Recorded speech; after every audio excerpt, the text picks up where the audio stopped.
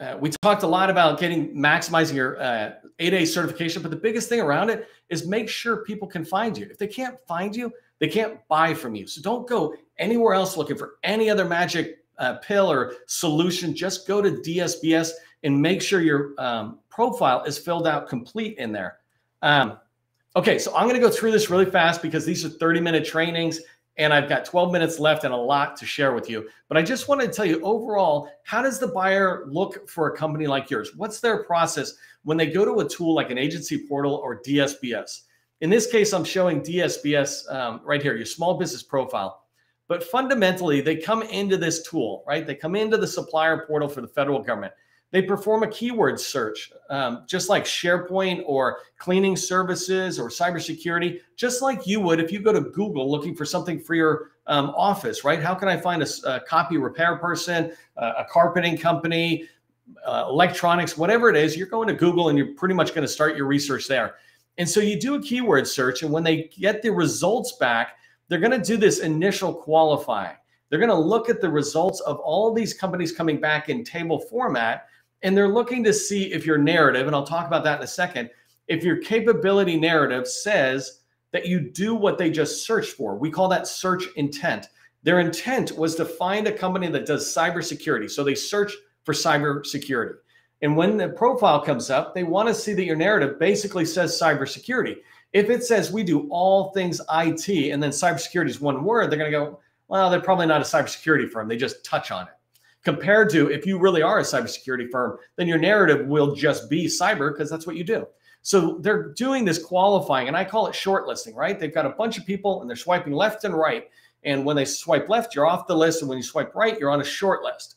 Same way we do with resumes when we're hiring candidates. We're left, right, left, right. We might go, do they have an MBA? Left, right, left, right, to find things like that. That's what the buyer is doing because they're not trying to look at everybody. They're trying to get a, a, a good enough list, a short list, that they can then choose um, vendors to do market research with.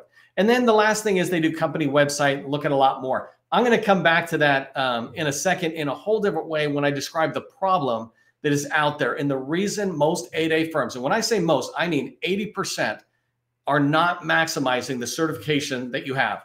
Uh, people like me think it's a golden ticket, and it literally is. But there are some things you have to do to make sure that it's working for you. No one's going to hand you money, but you're on a um, you kind of got a, a, fast pass, if you will, at Disneyland for a roller coaster where you can go to the front of the line, right? Everybody still had to pay to get in line, but this is a fast pass, a golden ticket. But if you don't pay attention to what you need to do, then you're just going to stay in line. And that's currently what's happening with 80% of the small businesses. So let's talk about the 8A problem uh, and I say this softly, but the thing that needs to be fixed in a week or less. Okay, so there's a lot of reasons why a buyer might um, shortlist you or take you off the short list. There's subliminal uh, tickers, if you will, that they look at it. They go, I don't, I don't want to bother. It's it's too much work. We call that friction. You're introducing friction between you and the buyer. You want to get put on the short list. Don't do these things that introduce friction. And so the first one is um, saying on your small business profile that you don't accept credit cards. Everybody accepts credit cards. No one says you have to sell to the government whatever they want, but everybody accepts credit cards. All you do is take the number, give it to your bank, and they take the money from the government. That easy. But it's just a checkbox. The problem with it is it's subliminally for 2,000 companies is saying we're not ready to be able to accept money from the government because we can't accept credit cards. But you probably can, right? So go in there, turn that checkbox to yes. The next one is um, out of the 6,000 8A firms that are out there, 3,000 of you are using less than 10 keywords. I told you that when the government is looking for a seller like you, they're going to use keywords primarily to find what they're looking for. And in the DSBS uh, small business profile, you have 25 keywords available to you. 3,000 firms, half of these 8A firms are not using all of the keywords. They're only using less than half. And so I want you to go in there and increase it. How can the government find you if they um, if they're searching but you don't use keywords? So an example is cybersecurity. Maybe they go search for RMF, risk management framework. It's a type of cybersecurity thing. If you don't put RMF in, or if you don't put risk management framework in, but that's what they search on, they're not going to find you. When you use all these keywords, you have room to put cyber, risk management framework, RMF, right? So use all those keywords. 3,000 companies are not using the keywords. Next one is even worse. There's a narrative that I talk about that they look at this initial narrative. Not only is the narrative telling them, hey, this is what my company does, but it is also keywords, right? We call this field a keyword indexed field. So they index it, meaning every word in there, if the buyer searches for it, they'll find you. And so it's another place for you to put a whole bunch of keywords. But right now, 4,600 companies out of the 6,000 8A firms are using half or less of the narrative field. That means 50% more of your story could be told and they could be finding you, buyers could be finding you if you tell that story.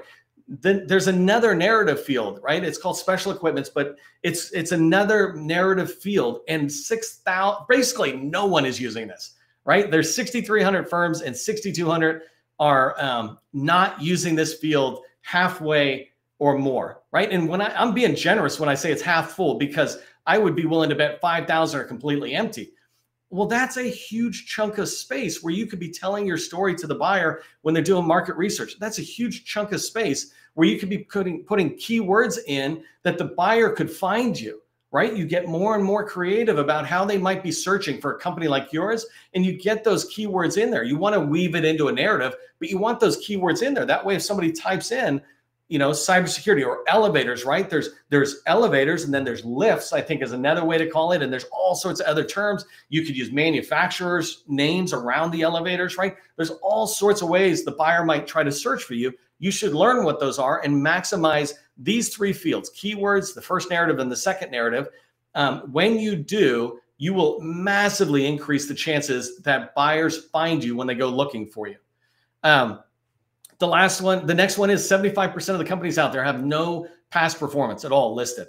What that means is the buyer shows up, they look at you and they go, oh, that looks good. They go down to the bottom of the profile and there's no experience, but many of you have experience, whether it's federal as prime or sub, whether it's commercial or state and local, put it in. So when they come down, they go, okay, you say you do what I want you to do and you have experience doing it. I'm putting you on the short list, right? 75% have no experience. Um, and the, the last one here is 5,700 have no secure website. It means HTTPS. You need to have a secure website. We've got CMMC going on. The government's really pushing this massive push on privacy. But if they come in and they see your website's not secure, they might not click on you. You might get swiped to the left and not put on the short list. And so, what I like to say is if you're the best, but buyers can't find you, are you really the best? Right? If you're experienced, but no one knows that you're experienced, are you really experienced? Not to the new market researcher. Yes, to your customers, but not to the new market researchers. Um, really quickly, because I, I, see I'm just blowing through this time, and I'm going to come back and do a bigger training offline of the lives. But go to this website. Um, it's called GLS, General Login System. Here's the URL. You can get this later, but go in there. This is how you update your um, DSBS pages without having to go all the way through SAM, having your cage code renewed, all that. Um, and so you can get a GLS account to do that and ask for the supplemental pages update SAM and DSBS as needed, and then register in the agency portals. I would register in every federal agency portal uh, that's that we have. We got 12 right now, and we update it every month. Um, and then strategically in the large primes. So if you're going after the Department of Education, you want to find what large primes are in there and then register in their portals. So hopefully that all made sense. This is such an important thing. You see those numbers. 75% of 8A firms are kind of invisible to the buyer if you do this one thing, buyers will begin to find you. It doesn't mean they're going to buy from you immediately, but now buyers can find you and be aware of you. They can see that you're experienced somewhere else. And, and I really want that for you.